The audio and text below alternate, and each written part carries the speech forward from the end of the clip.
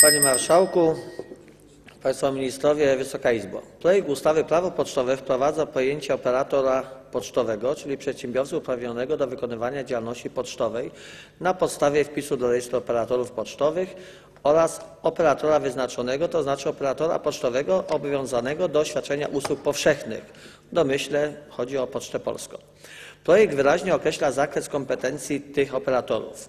I tak artykuł 15 ust. 1 stanowi o tym, w jaki sposób następuje zawarcie umowy o świadczenie usługi pocztowej. W szczególności uwagę zwraca punkt trzeci, który głosi, iż przyjmowanie przekazów pocztowych ze świadczeniami z ubezpieczeń społecznych, w tym emerytalnymi i rentowymi świadczeniami z pomocy społecznej, a także przekazów pocztowych na tereny wiejskie je będzie, będzie uprawniony wyłącznie operator wyznaczony.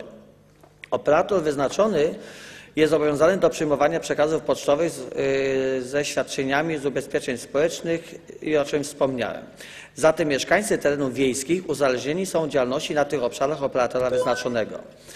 I teraz pytanie, czy zapis ten nie jest sprzeczny z zasadami wolnego rynku? Uzależnia też mieszkańców obszarów wiejskich od usług operatora wyznaczonego. Niepokój budzi też sytuacja, w której okaże się, e, której nie, dla operatora wyznaczonego okaże się e, wspieranie prowadzenia agencji pocztowych, a mieszkańcy terenów wiejskich pozbawieni zostaną dostępu do placówek operatora. Czy przewidziane są gwarancje dostępu do usług operatora wyznaczonego na terenach wiejskich? Dziękuję.